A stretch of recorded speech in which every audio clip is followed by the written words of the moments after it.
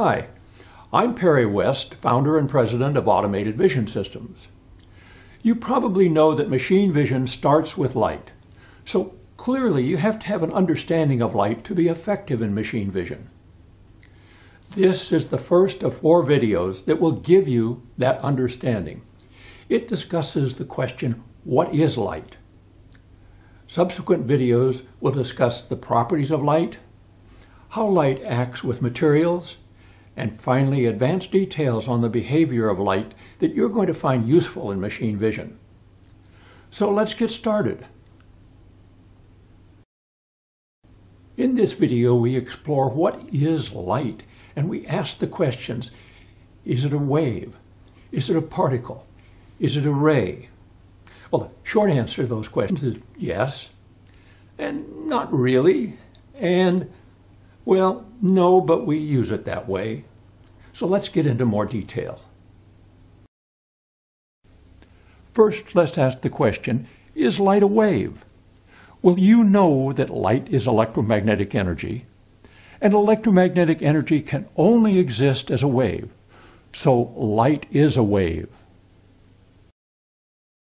It has an electric field, and at right angles to that, it has a magnetic field.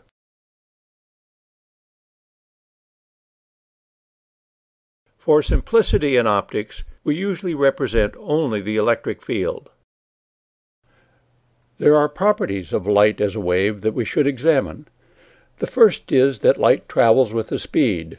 Traditionally, this has been represented by the lowercase letter c and is roughly 300 million meters per second in a vacuum. In a material such as water or glass, light actually slows down. We'll talk about this in a later section. The other characteristic that we should look at is that light has a frequency, and this frequency, typically represented by the Greek letter nu, is approximately 5.4 times 10 to the 14 hertz. Now it depends on exactly the color of the light, and again we'll talk about the spectrum later. And finally, light has a certain wavelength, and this is around 450 nanometers. The speed of light, its wavelength, and frequency are all interrelated. Now we can talk about light by its frequency, or we can refer to it by its wavelength. Most commonly, we refer to light by its wavelength. Next, let's look at light as a photon.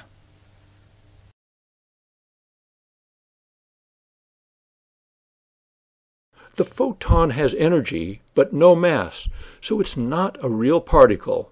It's more like the smallest spurt of light energy that can exist. And we can relate the photon's energy back to its wavelength or frequency using Planck's constant, which is conventionally represented by the lowercase h.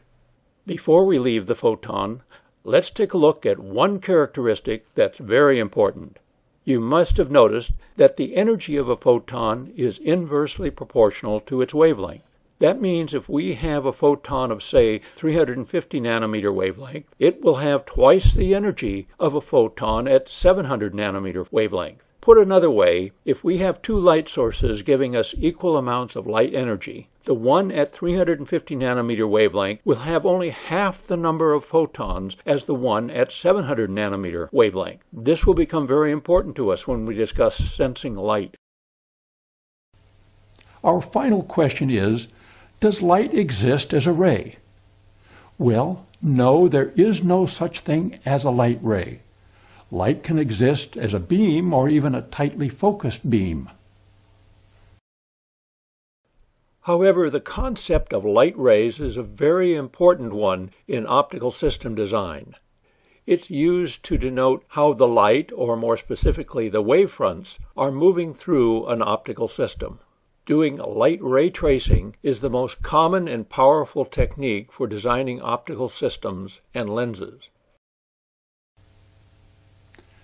As our final investigation into what is light, we'll take a look at the spectrum, the whole gamut of wavelengths and frequencies.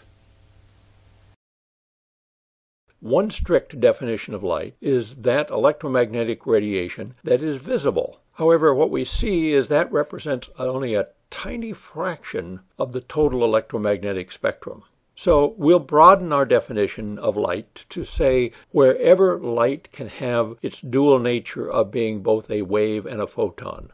This tends to eliminate the lower frequencies where the photon energy would be so small as to be impractical to use. This also tends to eliminate the short wavelength where the photon energy is very high, but the frequency is so high that it again is impractical to use. So this region that covers the infrared, visible, and ultraviolet regions of the electromagnetic spectrum are really the area that we'll call light for our purposes. Let's summarize what you have learned. You've learned that light is a wave, electromagnetic energy, and that the wave has a speed, a frequency, and wavelength that are interrelated. You know that light is a photon. It's not really a particle. A photon is just a tiny bit or quanta of light, the smallest piece of light that can exist. And thus light has a dual nature, both a wave and a photon. And you know that light isn't a ray, but that we use rays to tell us where light is going when we design optical systems. So now you're ready to look at the next video on the properties of light.